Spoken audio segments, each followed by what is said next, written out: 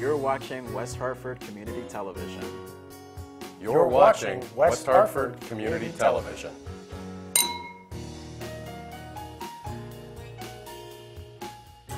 For the community, by the community.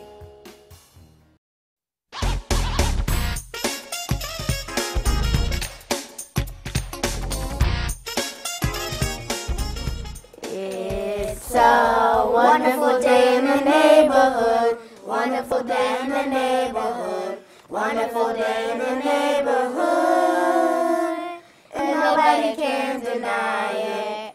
Welcome to Mr. Pop's neighborhood. Where everything is all good in our hood. Hello, young ladies. I usually say hello to young ladies and young men, but we don't have any men attending today. So I can say hello, young ladies. Hello, Mr. Pop. Today, we're going to be, you're going to, I'm going to introduce you all to a guest speaker by the name of Miss Camille. Welcome to Mr. Pop's neighborhood, Miss Camille. Thank you, young ladies. Today's subject is going to be about mannerism and etiquette. Can y'all say that? Mannerism and etiquette. We're going to talk about how good mannerism and good etiquette can help you, and we're going to talk about how bad mannerism and bad etiquette can hurt you. How's that? Good. Now, guess what? What? Would you like to introduce yourself? My name is Jayana Jackson. I'm nine years old in the third grade, and I am part of Mr. Pop's neighborhood. My name is Jaya Jackson. I'm 10 years old in the fifth grade, and I'm a part of Youth on Youth E2020. My name is Aviana Joseph, and I'm eight years old, and I'm a part of Youth on Youth, each one teach one. My name is Trinity Brathwaite, and I'm eight years old, and I'm a part of Youth on You, Each One Teach One. Now, guess what, young ladies? What? Remember early on I said good mannerism and good etiquette can help you, and bad mannerism and bad etiquette can hurt you? Yes. Don't you know people like to be around young kids who have good mannerism and good etiquette that show mm-hmm. polite behavior? Yes. Can you tell me your definition of good mannerism and good etiquette? My definition was that I called Trinity's mom and told her that she was going to be on your TV show, and she said, You're welcome to be on the TV show, and her mom said, Had fun. That's called polite behavior. You politely invited her, right? Yes. Yes, And she accepted your invitation, right? yes, So also she showed good manners and good etiquette, right? yes, sir. What's your definition? My definition is like if you have a birthday party and you can only invite eight people and the people around you help you get to this position, I would choose those four or five people who are with you because if you go and choose anybody else and they're right there saying you can have a birthday party and they're not invited, they'll make them feel unwelcome and not needed and not, and that you're not their friend. Like you have nothing to do with them. So that's a form of polite uh, also, right? Yes. Yes. Now guess what? Isn't it nice to be polite? Yes. Don't people like to be around you when you're polite? Yes. People don't like to be around you when you're not polite. Because that doesn't make you a leader. and you're just respecting the other person that like if you're a friend and you're and you're being rude to them that's not being polite you're just being rude to another friend that you might have that was so nice to you and they wanted to offer you something you don't want to offer it because you don't want their stuff Now, guess what young people have a problem accepting? What? Out in public, displaying good mannerism and good etiquette. When you go in a restaurant, you're supposed to walk in there as a nice young lady or a nice young man. You sit down, right? yes You don't tap on the table. You don't be banging with the salt shakers. You don't be rapping, talking loud, making the next person around you uncomfortable. When we talked about when somebody's uncomfortable around you, that's bad mannerism too, right? Yes. Especially when you don't know them. You're supposed to always display good behavior, correct? Yes. You don't also have to do it how you sit too. How you sit at the table, how you act like a young lady, how you act like a young man. Ms. Camille, would you like to contribute to this? Well, um, I like you, your definitions of etiquette and mannerism and being polite. You know, social grace is important in school, at home, um, on the job, wherever you are, in the grocery store with mom. Um, and kids tend to forget that today. Sometimes mom teach you guys at home and you come out and you don't use it. Don't use it at school. Say, for instance, you're coming to the TV show, you don't want to invite Trinity because you don't like Trinity or you had a bad day with Trinity at school.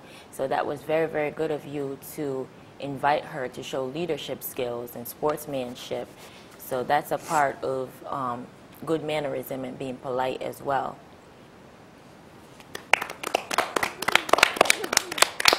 Let me share something with you that's very common among young people of all races, okay?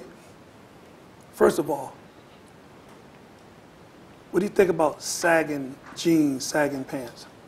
I think I think that's why people now wear uniform because if you because if you go out there like say if there's a science fair or something and you're sagging and you're representing for your school, they would be like, oh, I don't want to go to that school because they wear saggy jeans, rip holes in their jeans, and the principal just letting them get away with this.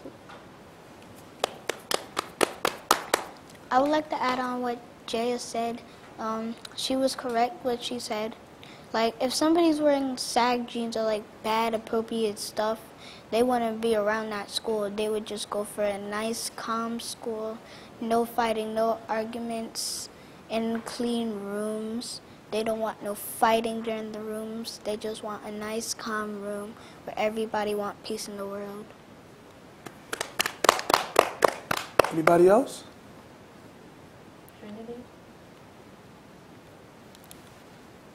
Let. Well, I, I just want to share on that as well, that as students, when you go out into the public place with your pants hanging down, even girls do it too, their pants hanging down, um, their shirt hanging over, you know, not polite at all, not put to, well put together. They leave the house really neat. Mom put them together really neat, but then they get outside, their shoes is dirty, shoelace untied, your hair is messy, you know, your face is greasy. You, you start at a young age of grooming yourself and hygiene is very, very important as well in etiquette and not just being polite, but also the way how you present yourself to your teachers, how you present yourself to other people and to your friends and your peers in school. That's important as well. Do y'all ever hear the word stereotype? Have you ever heard that word before? No. Have you ever heard that word before? Stereotype. Say stereotype. Stereotype. It labels you. You become a label. You become a statistic. When you stereotype, you fit under a certain category. And you know what the stereotype I want y'all to fit up under? Decent, nice, respectful young ladies that you are. Y'all understand that? Yes. And I want you to remember something. What you are today determines where you are and what you'll be later on in life. You understand that? Yes. At a young age now, this is the time for somebody to groom you, show you good guidance, give you clarity and understanding so you know how to be a respectful, law abiding citizen. When you step out, people have good things to say about you. Do you know how it feels for your mom to be at work and maybe a client come up to a counter and say, Are you Jayana's mother? She said, Yes. She said, Well, I want to tell you, your daughter is very polite. Your daughter shows good mannerism and etiquette. And she's the type of young girl that I like my daughter to be around because she set a positive example. Do you know how that makes your mother feel? Proud. Proud, happy, not disappointed. She's very proud of you. She don't want to whoop you or nothing, and she don't want to like, like put you in punishment. Because you are a reflection, you are a reflection of your parents. Do you know how the teachers feel? They feel proud that my student has been put in this position, that she that she has um, shown that she's responsible to do any job anybody can give her. And most of all, do you know who I really want to be proud? You know who I really want? I want you to be proud of yourself, first of all, because that makes you feel like you're trying to live right, you're willing to live right, and you want to do right by people, right? Yes. It says a lot of good things about yourself as an individual. You know that, right?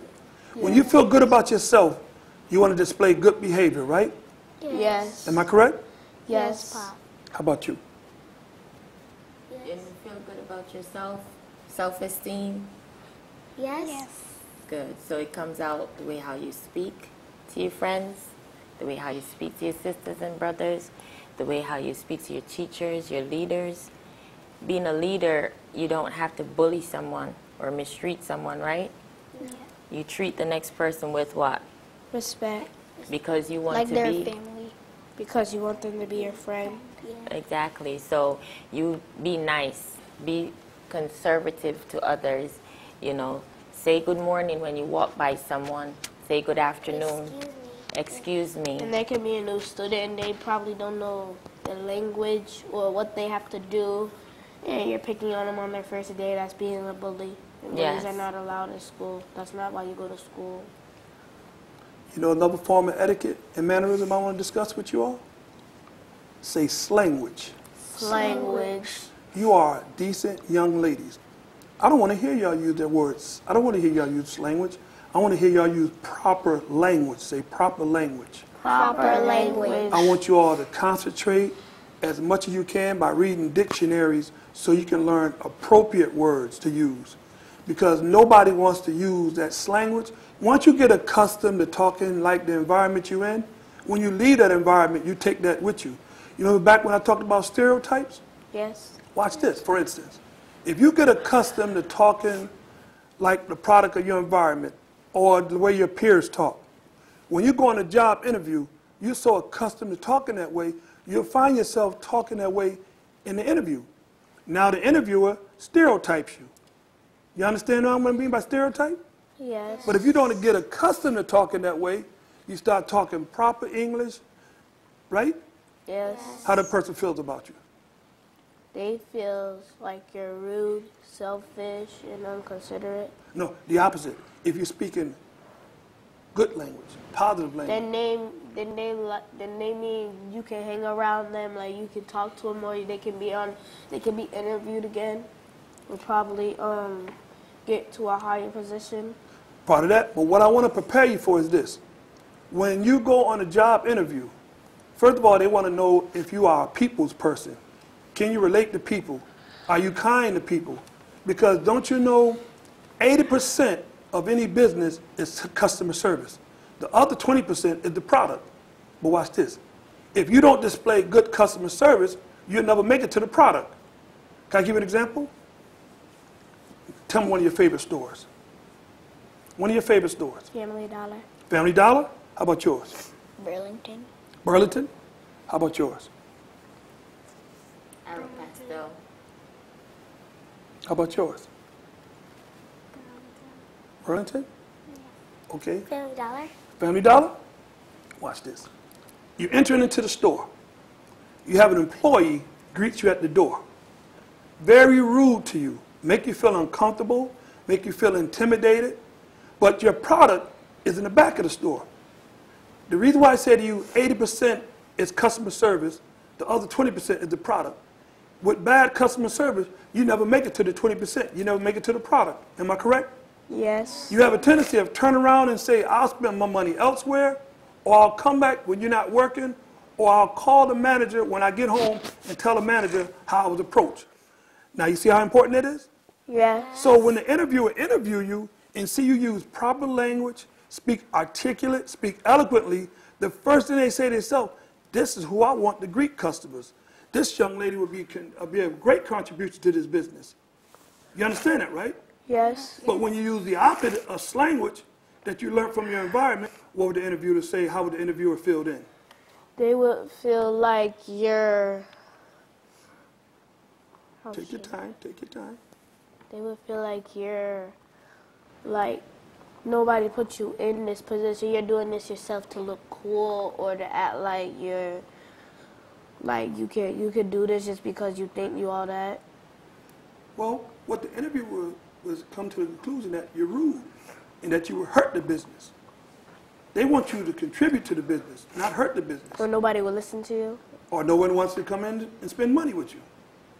So all this plays a role in your life. Mannerism, etiquette, it plays a role in your life. That's what I want you all to concentrate on. What the first, what the first thing I said that you ought to get accustomed to doing? Reading what?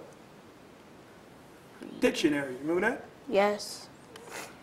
It helps you communicate with other people. Dictionaries. You learn words. And always remember this: there's no such thing as a big word. You break the word down in syllables, you realize how small the word is. Just get accustomed to using those words. Y'all understand that? Yes. You understand it too? Yes. And another thing I don't want y'all to get accustomed to doing, when you have a nice, when you have your peers, right, and you find your peers speaking eloquently and articulate, like I just stated, I don't want y'all to say to that person, "Oh, you speaking like that? That ain't how we speak." That's a form of peer pressure. That is the way you speak. That's a lot of times you all have a tendency of doing that. When a person do speak proper, you tease that person. I don't want y'all to get accustomed to doing that. I want you to say, wow, that person speak real nice, articulate, eloquently. I need to speak the same way. Y'all understand it? Yes. Yes. Y'all understand it? Yes. You have anything, Ms. Camille? And speaking eloquently is not just y'all. You know what I'm saying? What you about to do? That that's not that's not English. That's not how you present yourself. What are you doing? How are you doing? What you learn from the teachers is what you portray, portray in your classroom and to your peers, correct? Yes. That's how you speak to your mom and dad at home and you speak to your friends when you're in the playground. You don't call on the phone and say, hey, what's going on? What y'all doing? Hi, how are you? What are you doing? Yeah, like if you're from like if you're from down south, that still doesn't have an excuse. You could still talk like that, but not like that. You could say, "Hi, mom, how are you doing?" But if you're southern, then you could say it like that, but not be rude like that. You know, being being polite brings you far. It brings you through college. It brings you to your workplace, out your workplace, and into a social environment. Social intelligence is very, very important. The way how you sit, your posture, your poise is very, people look at everything. They, when you walk into someone's office, into someone's space, they look at your mannerism. They depict who you are by just looking at you because they know what they're looking for. When, same thing when you go to school. The teachers look at you, they can tell if you're going to be a problem child, if you're going to be a child that's going to have manners to your peers, have manners to them. They look at all of that, and then the teachers begin to work with you. So you have to work with your teachers too, right? Yes. Yes. You work with the teachers, work with your classmates, work with your principal, work with the school system because that's what the teachers are there for. They're there to empower you, to make you our future for tomorrow. So if the teacher tell you you don't you don't sit like this in the chair, you sit up because you're a lady. You're growing up to be a woman. So you want to sit with your shoulders up and sit back in the chair and keep yourself straight because when you what if you want to be a lawyer? And you need to keep your legs closed if you're wearing a skirt. There's a way to sit in for every occasion. You know, you, you don't sit and open your legs like that. You sit with your legs closed. You know, you don't sit and put your put your leg up like this. Men do that. Women sit with their legs like this. Okay? So there's a, there's different ways to, to, to sit. There's different ways to speak as young women. All right? Trinity?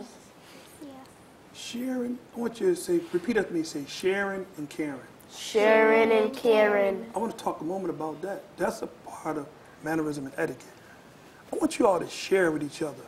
For instance, if you have an extra pencil in school or ink pen, and the person next to your desk doesn't have one, what is the appropriate thing to do? The appropriate thing to do is share with them. You don't like say, no, you're not going to have my stuff. You just share with them. You say, yes, you may use my stuff, but you have to give it back. That's And a part of um, in etiquette we call we call that sharing, sharing etiquette. That's what we call it. One of the things, one of the rules of sharing etiquette is you borrow someone's um, personal item you replace it on time when you say you're going to replace it, and you also take care of that item while it's in your possession. So if someone lends you a pencil during school time, you say, I'll give you your pencil back after school, after class is over, and while you have it in your possession, you're going to take care of it so that if something happens tomorrow, you don't have a pencil, you can use the pencil again tomorrow, correct? Yes. Okay. You know what else I want you all to focus on when I say sharing and caring? You all know just about everyone in your classroom, correct? Yes. If you have a student, fellow student, that's missing two days, wouldn't it be polite for you to go to the teacher and ask about the welfare of that person? See if they're all right? Is there anything, if there's anything you can do to show concern? Yes. How do you feel about that? Good. Oh. Feel good about that, correct? Yes. Doesn't that make a better world? Yes. It teaches you to be a better person. I want y'all to wake up in the morning, look in that mirror, and I want you to say, I'm a respectful person. Let me hear you say it. I'm a respectful person, And I'm going to display respect to people. and I'm gonna display Display? display respect for people. That's right. And you all can do that. You know that, right? Yes. Say, I'm a young lady.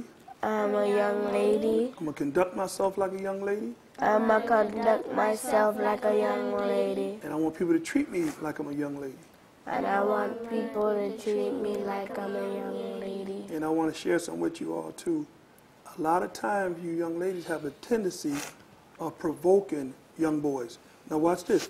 That doesn't mean that a young boy has a right to be, disrespect, be disrespectful to you, but I want you all to respect yourself to the extent where they have no choice but to be respectful to you. Do your young men think that when you don't respect yourself, they say, Well, I don't have to respect them. But when young men see you respect yourself as young ladies, that's letting them know, look, you ought to treat me like a young lady and treat me like I respect myself. Y'all understand that? Yes. Remember earlier I said your self-esteem has a lot to do with how you present yourself. So if you're if you're on the playground and you're being a bully, guess what? The boys are gonna bully, they're gonna bully you back. And bullying is not acceptable. It's not nice. Don't bully each other. Be nice to each other. Be courteous. If someone needs something and you have it, you offer it. I want to share some with you all about the various topics of bullying. You have several types of bullying. First of all, use the word, say intimidation, Intimidation. say uncomfortable. Uncomfortable. Anytime a person is uncomfortable in your presence, that's a form of bullying. Anytime a person is intimidated in your presence, that's a form of bullying. You have silent bullying. Silent bullying is when people use facial expressions to intimidate you to make you feel uncomfortable.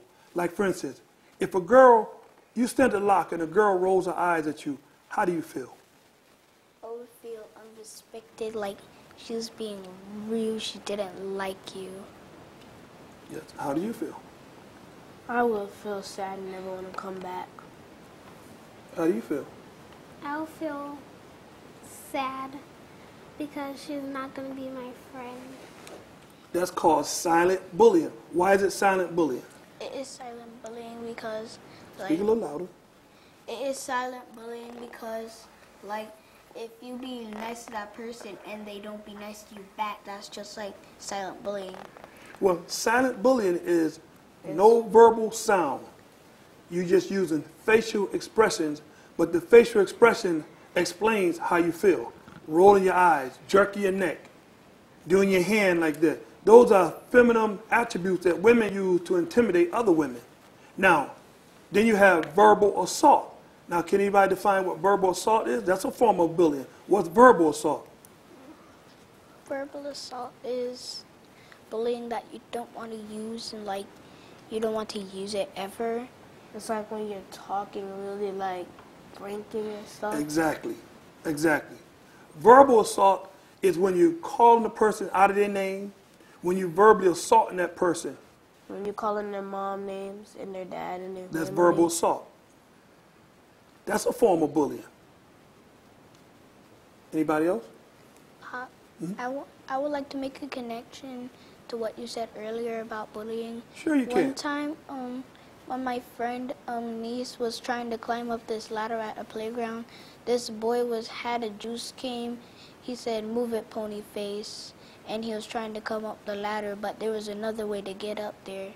And he called her niece names. Then I told her to get down and went the other way, so she won't get hurt or nothing, or her feelings will get hurt.